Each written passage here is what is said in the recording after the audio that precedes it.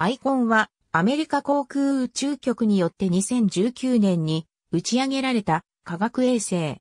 宇宙と地球の境界に広がる電離層及び熱圏を観測し、地球大気の気象と大気上層を電離させる太陽由来のエネルギーがこの領域にどのような相互作用を及ぼしているかを研究する。エクスプローラー計画に含まれる中型探査機シリーズマイデックスの一機である。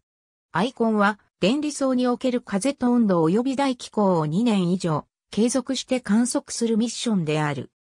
宇宙環境からの影響と地球環境からの影響がどのように組み合わさって電離層の予測困難なプラズマの分布と変動を引き起こしているのか大気電気学と大気力学の観点から研究し、その正確なモデルを構築することで宇宙天気予報の改善に寄与することが期待されている。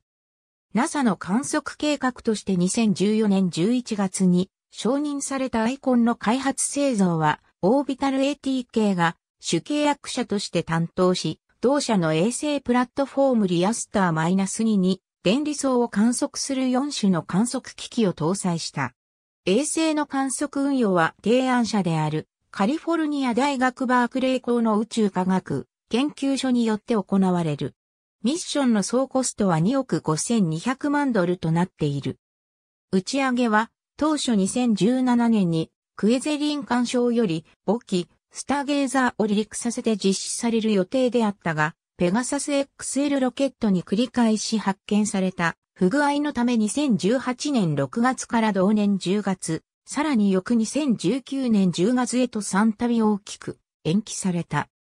2019年10月11日にケープカナベラル空軍基地を飛び立ち高度約 12km に上昇したスターゲーザーが1時59分にペガサスロケットを切り離し点火、打ち上げに成功した。NASA はアイコンに先立ち、ルクセンブルクの衛星通信会社セが所有する商用通信衛星セマイナス -14 に遠視外線イメージャを搭載するプロジェクト、ゴールドを開始しており、低軌道を1日15回周回するアイコンと、ブラジル上空の静止軌道から西半球を見下ろすゴールドが連携して、電離層の観測を実施する。アイコンによって得られた最初の画像は、アメリカ地球物理学連合の秋季大会における12月10日の記者会見で公開された。ありがとうございます。